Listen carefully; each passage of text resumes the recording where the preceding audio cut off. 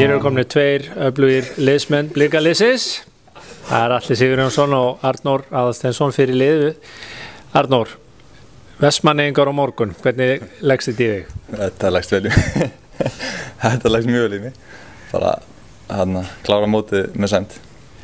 Nú eru verið svona óvissa með leiktíma. Er það að tröfla ykkur í undirbúningunum?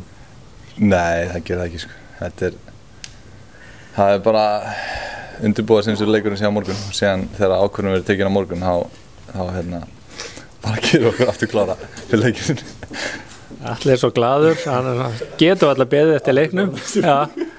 En Alli Sigurjónsson, hann greinlega er spenntur að koma en hann hefur átt hérna fína innkomu undanförnu og, og er alveg bara grátandi gladur. En Alli, ertu sáttur við þína framistöðu undanförnu? Það skal tekið fram að, að það er hópur af blíkum að horfa á hann og, hann og það er að hafa svona þessi jákvæðu áhrif á hann og hér sjáum við drengina.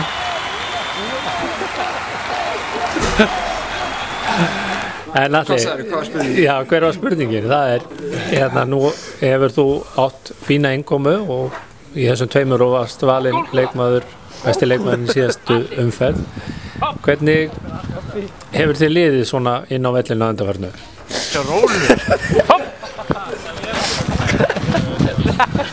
Við verðum ekki að taka þetta bara viðtal í prívat. Sko. Mr. Director, bara aðfram með Já, já. Með, Þetta er, bara niður. já, með, með Ætlarðu- hefðið bara mjög vel sko. er það ekki? Þú ætlar ekkert að, þú skjóta dómara niður núna, er það? Eh, Nei, að fóra, fóra Hvernig er það að... Þetta er ekki að ganga. Hérna, við þurfum að afhenda honum bókina. Já, Þurfum ekki að ná einni spurningu já, verðum hana. Einni spurningu. Einni spurningu. Ok, Á hverju eigum við von á morgun eða sunnudaginn gegn Vestmanneigingum? uh, Fyrir svolítið eftir Það fyrir eftir veðrinu.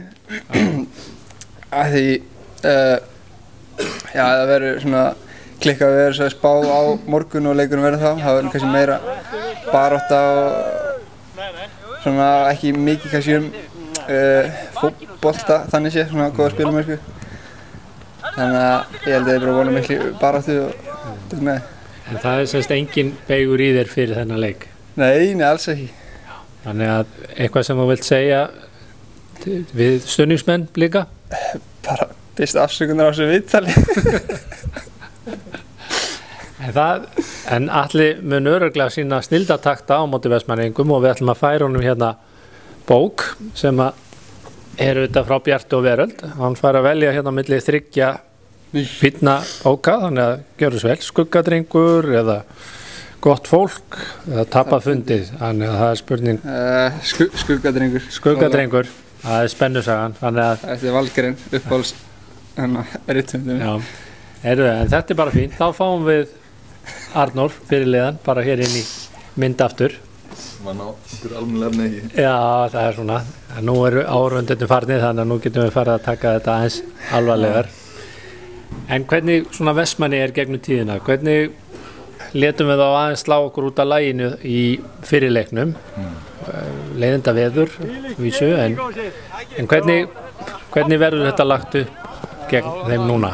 Það er náttúrulega að mótiður á mann náttúrulega að hérna, vilja svara fyrir þann leik.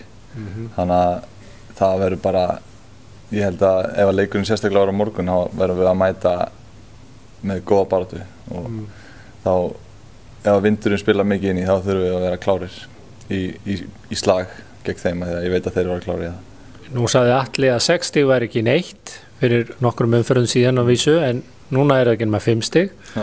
Getum við orðið Íslandsmeistarar? Já, ég, meðan það er senst þá, þá bara hjólum við áfram og við ætlum að, ætlum að bara gera allt sem við getum síðan sjáum við til hvað, hvað hérna, FH gerir og ég meina þetta er bara eitt leikur í einu og ef þeir misti þessi eitthvað núna þá getur verið skemmtilegt að fá smá leik í sensta umfyrir. Nú er í gangi átak með allra vörum gegn einelti. Þú kannski tengist í nokkuð. Ertu ekki með einhver skilabót til okkar líka? Jú, bara hérna styrkja gott málumni, ég held að nummer sé 5, 12, 20, 20 og hérna leggja þessu góða málumnilið, það er, það er hérna söfna sem er búið að opna og, og bara berjast gegn eildi.